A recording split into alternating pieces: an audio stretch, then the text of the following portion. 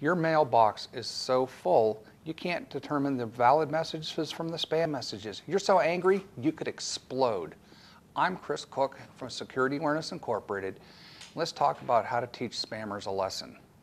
First of all, there's no way you're really going to be able to get to the actual spammers themselves to teach them a lesson. But what you can do is make it so their messages to you are completely useless and wasted.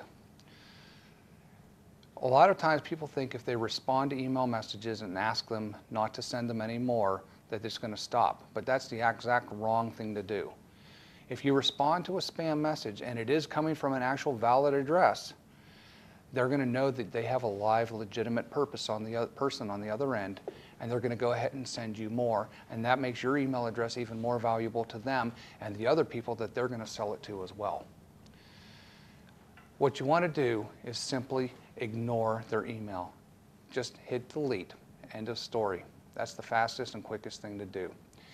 If you are responding to the email message and it's not coming from a valid address, it may be coming from a legitimate address, but it's not the actual spammer's address. They may have spoofed it from somebody else, in which case you're going to be annoying another person, such as, you know, a regular person such as yourself.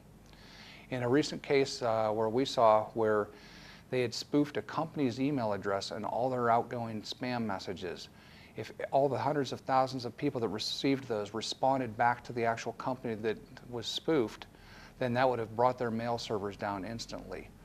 Even the undeliverable mail messages that came back brought their server down for an hour or so. So make sure that uh, when the, the spam messages come into your mailbox, the easiest and quickest thing to do for you, it's going to be the most least frustrating thing as well, is just simply hit that delete key.